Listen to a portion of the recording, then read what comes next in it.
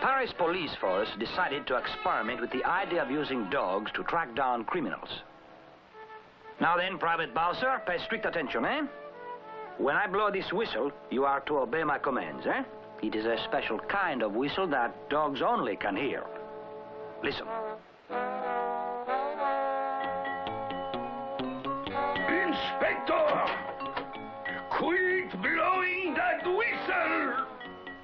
Oh, sorry, Commissioner. Uh, sir, I...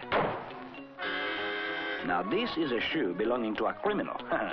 Do you know what to do with it? No, no, stupid. Use your nose. Sacroiliac! The scent, you nincompoop. Get the scent.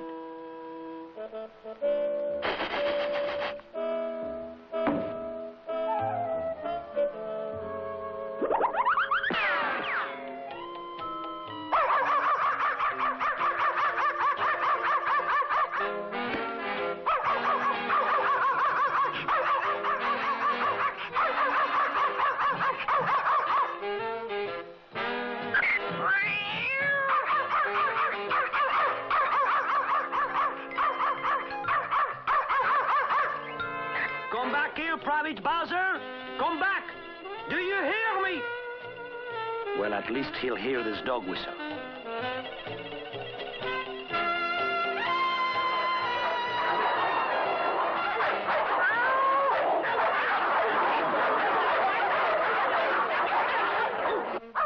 In no time at all, we were right back on the culprit's heels.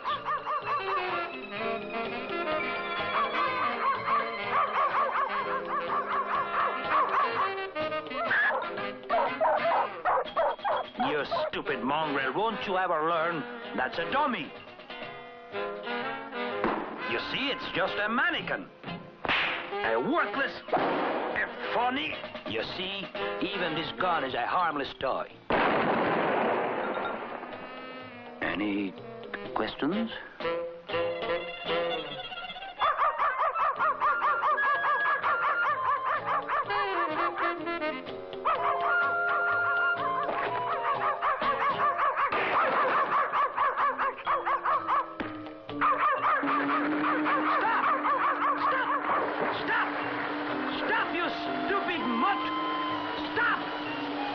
Stop him with the whistle.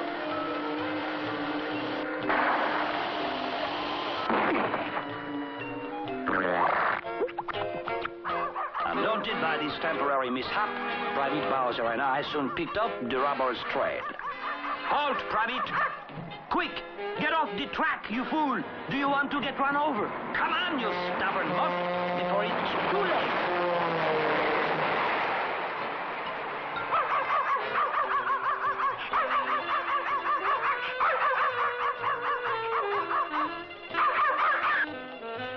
No dogs allowed on the train.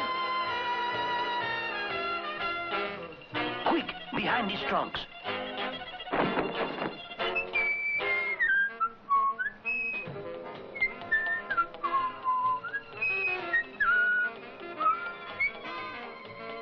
The coast is clear, Private. You can come out now. Not out of there, you idiot.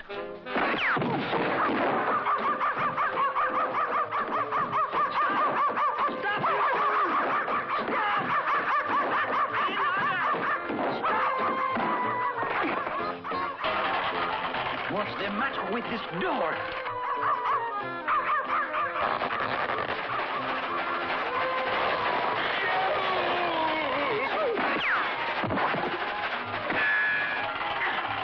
It must be stuck.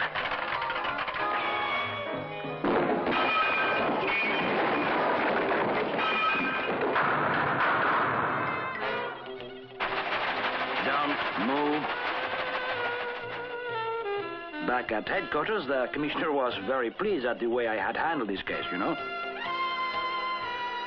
It gives me great pleasure to award you this medal for outstanding service.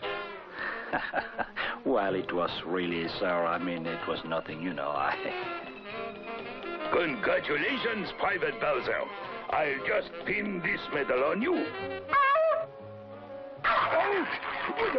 Stop it, Private Bowser, stop it. Do you hear me? Would you please stop it? That's an order. Stop, you stupid mongrel. Leave him alone.